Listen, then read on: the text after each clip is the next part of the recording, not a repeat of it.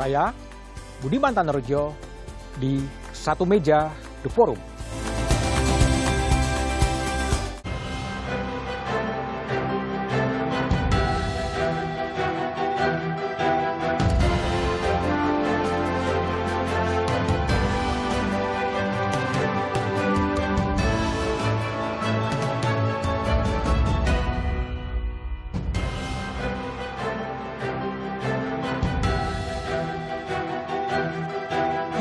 Tiga periode masa jabatan presiden kembali dihembuskan.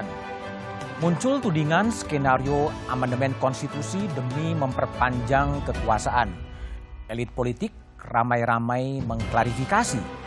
Presiden Jokowi pun menyatakan tidak akan menjabat hingga tiga kali. Meski batasan dua periode adalah amanat reformasi, keinginan mengutak-atik masa jabatan presiden di Tenggarai tak akan mati. Lantas ada apa di balik dihembuskannya kembali isu ini?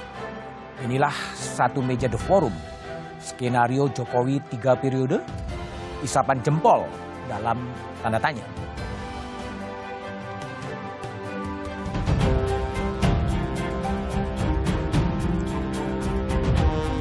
Satu dua pasal yang katanya perlu diperbaiki, yang mana saya juga tidak tahu.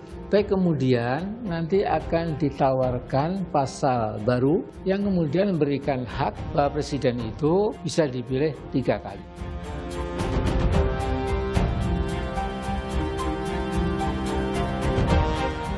Saya tegaskan, saya tidak ada niat, tidak ada juga berminat menjadi presiden tiga periode.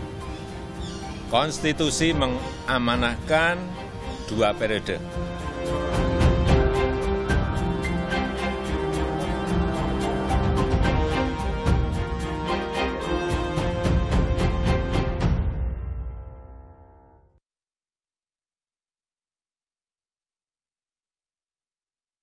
Saribu, politisi PDI Perjuangan. Selamat malam, Bang Masinton. Selamat malam Pak Budiman. Kemudian Dan ada Immanuel. Ebenezer, Ketua Umum Jokowi Matia, Jokowi Mania, maaf. Eh, selamat malam Bang Immanuel. Selamat malam Mas Budiman. Kemudian ada Muhammad Said Didu, deklarator kami. Malam Bang Said. Selamat malam. Kemudian ada Mbak Siti Suhro, pengamat politik dari Lembaga Ilmu Pengetahuan Indonesia. Malam Mbak Wiwi. Selamat Ya. malam Mas Budiman. Ya, Selamat sebelum- malam Bapak-bapak. Ya, sebelum memulai diskusi kita coba lihat ya bagaimana isu amandemen konstitusi dan perpanjangan masa jabatan periode presiden menjadi tiga kali ini naik turun seperti roller coaster. Mungkin bisa ditampilkan grafis yang telah diriset oleh tim satu meja. Jadi Oktober 2019 Ketua Fraksi Nasdem MPR Joni Plate mengungkap wacana perubahan jabatan presiden. Ya. Ada juga isu soal revisi pada amandemen terbatas Undang-Undang Dasar 1945 terkait GBHN. Ya, itu lalu kemudian dari Wakil Ketua MPR Arsul Sani membeberkan wacana jabatan presiden tiga periode datang dari fraksi Partai Nasdem. Ya, kemudian masih ada lagi diskursus Desember 2019 tanggal 2 Desember Presiden Jokowi menolak usulan masa jabatan pre- presiden tiga periode. Jokowi menilai mereka yang ingin presiden dipilih tiga periode ingin menjerumuskannya atau mencari muka, yaitu 2 Desember. Kemudian 13 Maret 2021 pendiri Partai Umat Pak Amin Rais menyebut ada skenario dari rezim untuk amandemen UUD 45. Tujuan amandemen agar masa jabatan presiden bisa menjadi tiga periode. Itu adalah lalu kemudian 15 Maret 2021 Presiden Jokowi menegaskan tidak punya minat menjadi presiden tiga periode. Itu adalah eh, pasang surut wacana soal presiden tiga periode. Saya akan bertanya kepada Bung Said Didu, deklarator kami. Ini apa Bung Said tiba-tiba Pak Amin ya menghembuskan isu lama soal yang sudah tenggelam soal wacana melalui akun YouTube-nya eh, ada keinginan dari rejim untuk memanggil sidang istimewa MPR dan mengubah masa jabatan presiden menjadi tiga, tiga periode. Apa di balik itu, Bung Said? Saya selalu menyatakan setiap pernyataan politik saya menyisakan ruang ketidakpercayaan. Ketidakpercayaan pada siapa nih? Kepada pernyataan politik, partai politik atau politisi. Jadi saya happy-happy aja mendengarkannya. Happy-happy. Nah, seperti pernyataan Pak Jokowi, Presiden menyatakan saya tidak berminat dan Aha. tidak berniat. Oke. Okay. Tidak berniat untuk menjadi presiden tiga kali. Hmm?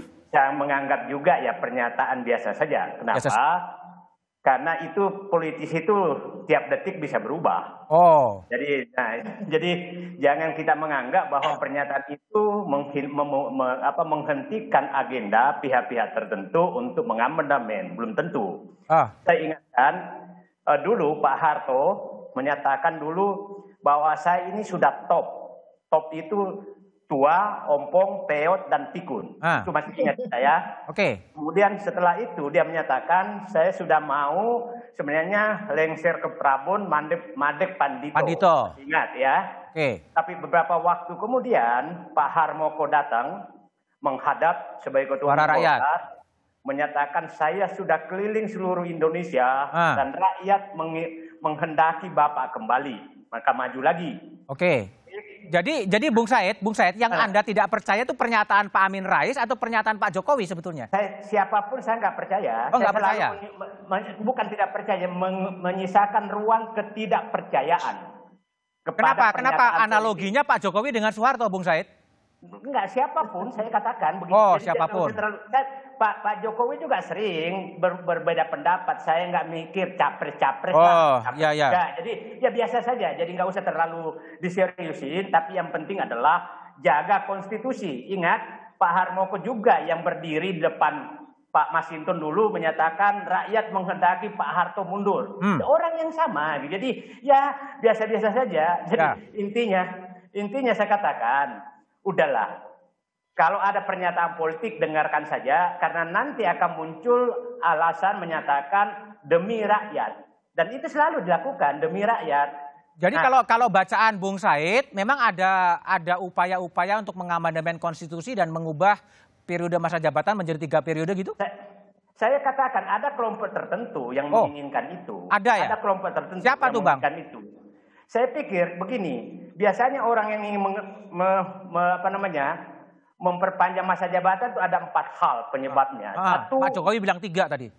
Nah, satu penyebabnya adalah dia sukses sekali dan negaranya terancam, okay. maka rakyat bersatu untuk melanjutkan masa jabatan tidak sesuai dengan periode. Yang kedua, okay. huh? dia gagal, gagal sekali sehingga orang-orang sekitarnya menganggap harus dilanjutkan untuk menutupi kesalahan-kesalahan. Oke. Okay. Ya. Yang kedua, yang ketiga ada pertentangan ideologi yang sangat keras sehingga ada pihak tertentu ingin menggolkan ideologinya sehingga memerlukan perpanjangan hmm. masa jabatan. Oke. Okay. Dan yang keempat adalah ada kepentingan oligarki yang menganggap kalau kalau rezim ini berhenti, maka kepentingan kita hapus. Oke. Nah, itu bisa terjadi kapan saja. Kapan saja. Sekarang ya. juga bisa terjadi gitu? Bisa.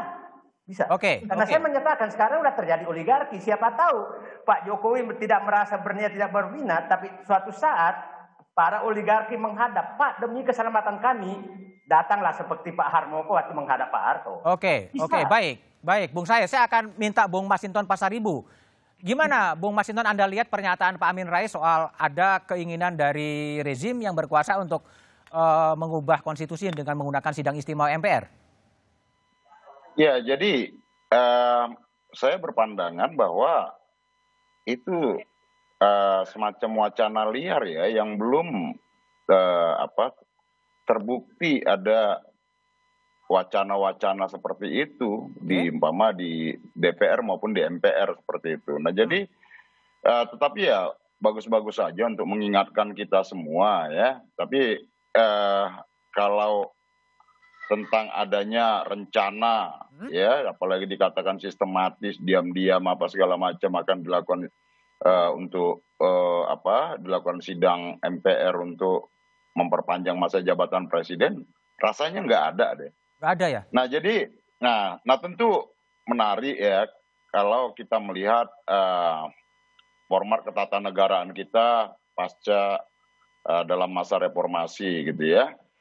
Nah, tentu reformasi itu kan harus kita ingat sebagai koreksi terhadap otoritarianisme Orde Baru pada saat Oke. itu, di mana kekuasaan yang tidak terbatas, kemudian eh, dari yang tidak terbatas itu ya menjadi korup apa segala macam. Oke, Bung Nah. Masinton, kalau saya cross dari Iya. pernyataan Bung Said Didu tadi ada empat alasan yang menurut Bung Said ya sukses sekali, gagal sekali, ada pertentangan ideologi, ada permintaan oligarki di balik eh, wacana eh, presiden menjadi tiga periode. Gimana Anda respon itu?